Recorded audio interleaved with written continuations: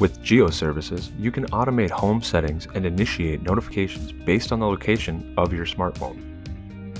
To enable Geo Services on your device, begin by logging into the mobile app. Tap the menu icon, followed by Geo Services. Tap the Geo Services toggle switch to turn it on, then tap Enable to confirm. Verify that location services are turned on in the phone settings to enable this feature.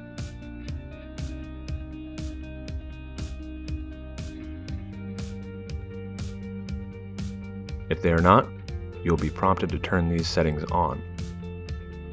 Once GeoServices is enabled on your mobile device, head over to the website to create your GeoFence.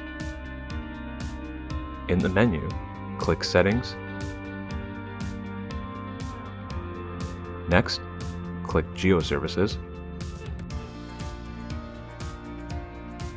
From this screen, click Add a Fence. Enter a specific address to move the fence's location. You can have more than one fence.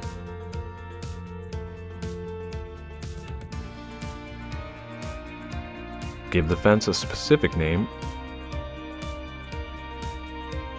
and then enter the desired radius in the radius field. You can also drag the fence to expand the radius.